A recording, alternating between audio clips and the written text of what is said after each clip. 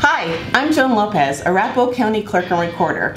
We're at the peak of summer and election season may seem far away, but our team is already hard at work behind the scenes gearing up for the coordinated elections on November 5th.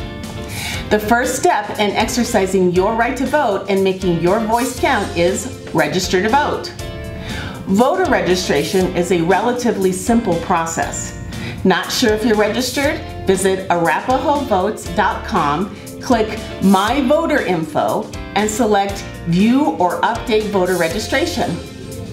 If you are registered to vote, you can make changes to your name, party affiliation, or to your home address.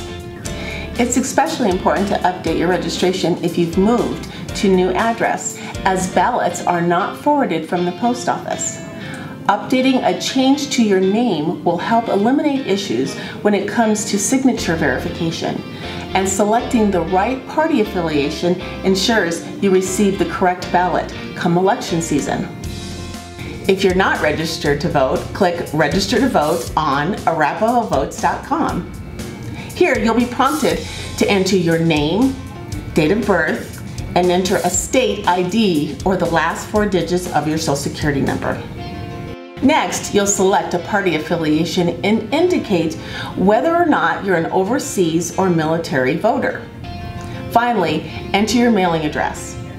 If you want your ballot mailed somewhere other than your home address, you'll have that option here as well. Once you review your information and everything is correct, your registration will be submitted to our office. As the election rolls around, keep an eye on your mailbox for your ballot. Also, be sure to check our website, arapahoevotes.com, for up-to-date election information.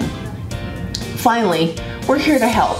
If you have questions about voter registration, voting, or elections, don't hesitate to reach out to us.